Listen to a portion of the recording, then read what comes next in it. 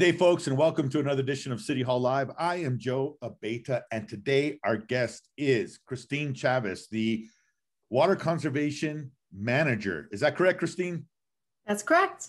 Yeah, thank you for joining us. I appreciate it. we just we just had talked about it. I, I kind of got yeah, I was looking at the camera and whatnot, but but thank you for joining us today. Appreciate it. Um, Christine, I know uh, you know we've had you on before, but you're, you're on specifically now to talk about uh, Fix a Leak Week coming up March 15th uh, through the 21st. What is Fix a Leak, a leak Week?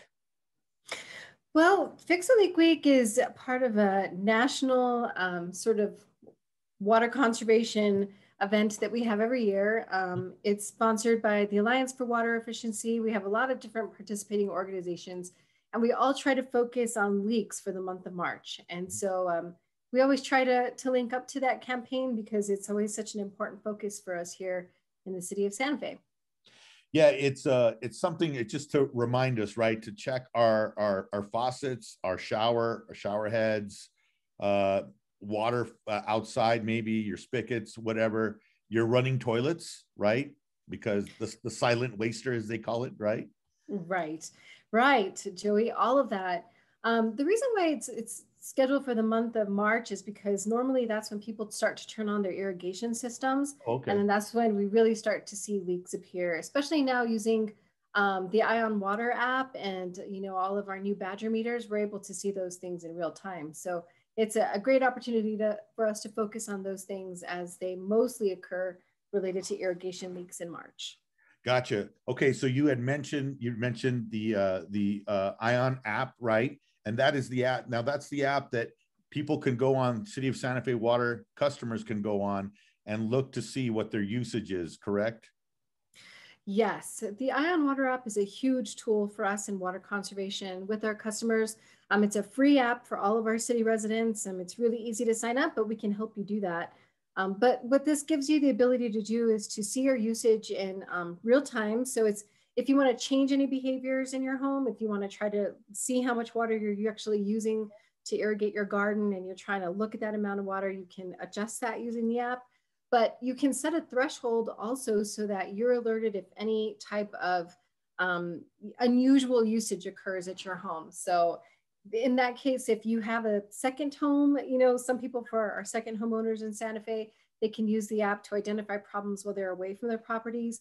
Um, but even for all of us, I mean, if we've got a leak, like Joey was saying, and it, you know, especially like in the toilets, you can't always hear that. This mm-hmm. app would notify you immediately that there's something happening. So um, it's the best thing we could ask for when it comes to looking at leaks, finding leaks, and you know, being notified of them before they cause a really big issue. Yeah, that's pretty cool because it, it's something that we offer our customers from the city of Santa Fe, and it's cutting edge, you know, and it's it gives you access to your water uh, consumption that you could see. So, like, let's say it's two in the morning and you happen to wake up because the dog needs to be let out. You let him out and you look, you just happen to look at the app and you say, wow, we're using a lot of water and everyone's asleep and we're not running anything. Something must be up, right? That's like, that's the purpose of it, correct?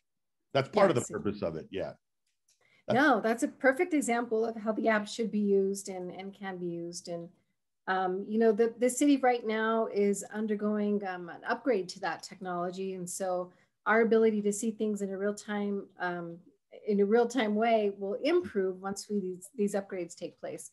So, um, you know, it's, it's a really advanced system and we're so fortunate to all have access to that kind of data. And um, it just helps us all looking at water that's being wasted and leaks for us is like, the easiest thing for us to try to fix because many people don't know about it and um, you know the app helps them identify those leaks and um, we can offer resources to our customers to try to help them address and fix them and so yeah. um, you know any of those issues you know that that's what really what we're focusing on in the month of march so for the month of month of march it's kind of a reflection right on on assessing being aware of leaks what are some what are your top three leaks that people can look for even top two but i know there there's probably an easy three that you can probably just right now just list but what would you say people the easiest ways people can look for leaks in their homes so that's a really great question, Joey, and I'm glad you're giving me the chance to talk about it because we do offer a lot of resources to help people find leaks in their home.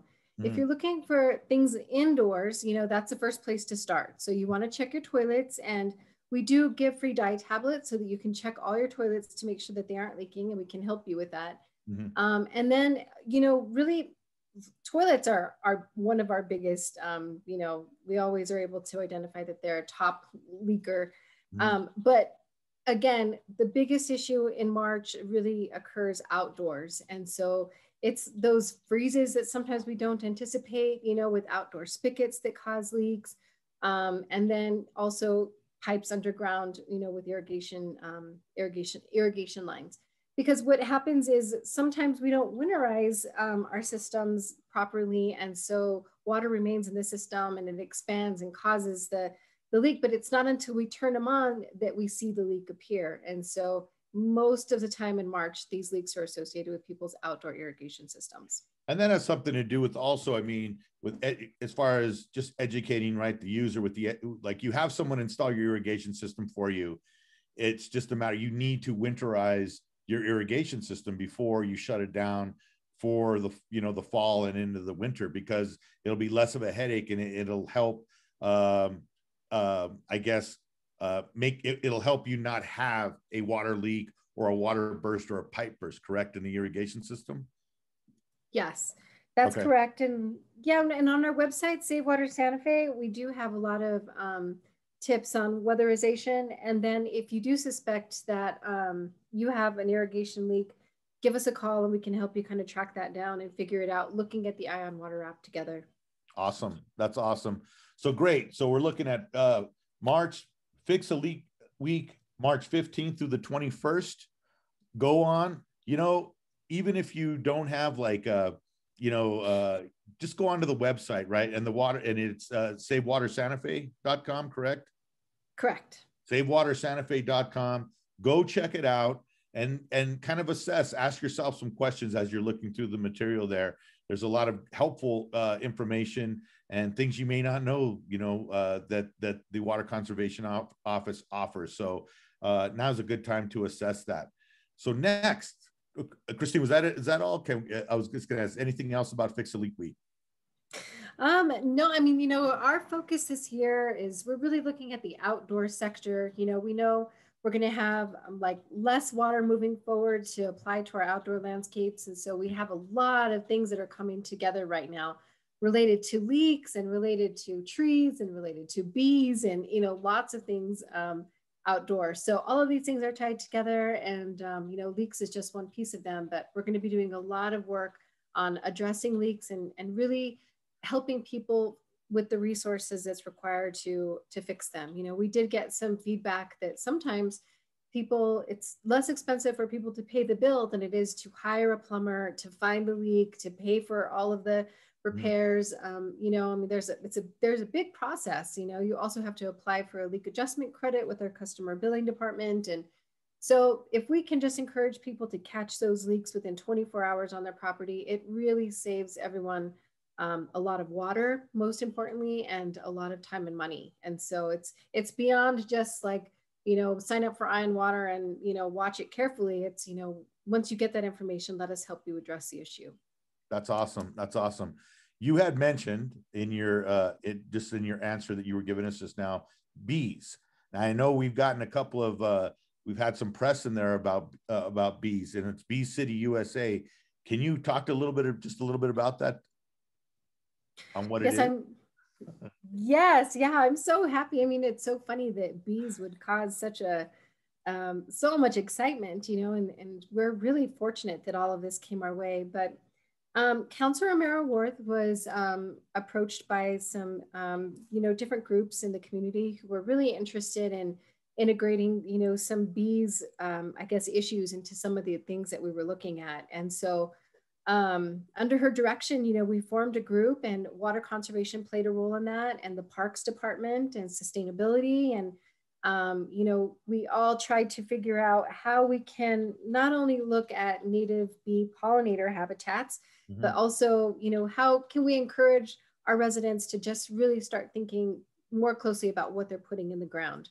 Um, okay. So we want to plant things that are native, that require less water, but that also may double as pollinator habitats. And so, oh, okay. you know, working with the Tree Smart um, Santa Fe program initiative that just came out a couple weeks ago, um, that is tied directly to this bees initiative because we just have all these groups interested in doing all of these things right. And so I'm really excited. We have over 22 partners and um, we have the Randall uh, Davey Audubon Center helping yeah. us, uh, mm-hmm. you know, form a committee and create these, uh, you know, community events. And so it's, it's really about, it's funny that bees kind of brought all these organizations together to talk about what we can do together um, because you know we're all looking at multiple issues together. So I, I'm really excited about the collaboration and the opportunity to work with this group. And um, that resolution was at quality of life last night, and it passed on consent. And so I think now it goes uh, to finance and the governing body in the next coming weeks. And so I'm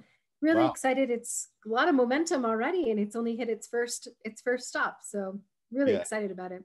No, that's great. That's great. Anytime we can do stuff to help the bees out, right? Well, honestly, I'm like, I need to learn so much more about bees, but on this this committee that I'm working on, we have those experts. We have, you know, the yeah. Xerces Society and the Botanical Gardens and the Randall Davey Audubon Center. I mean, those are the experts, but we can integrate the message of water conservation into any of those things. And so now we're not only just talking about water conservation or bees separate or trees separate or now we're talking about all of it in one, you know, in, in one with a great audience of a lot of different stakeholders. And so, you know, I think I'm really excited about the opportunity to work on things like that moving forward. We have to do that, work on these collectively. Well, if you really want to know about bees, you can watch the bee movie that Jerry Seinfeld's in, right? That so right. It's, it's a it lightly touches, you know, on, on, on their everyday life with the, you know, a, a Seinfeld twist to it. But that's how I learned a lot about bees. So anyway, I love it. Yeah, my awesome. son watched it so much when he was a little kid. So, you know, it's, it's a fun movie. Well, well, Christine, thank you for joining us. I really appreciate the time. I know you're very busy, but I just appreciate you coming on and, and telling us uh, about Fix Leak Week and also about Bee City USA that that's going through right now. Um, thank you again, and and please come back. Thank you so much. I really appreciate it. And it's it's great to have the opportunity to talk about all these things. So thank you. Yes, thanks. And thank you folks for watching. Have a safe week. Have a great week. Adios.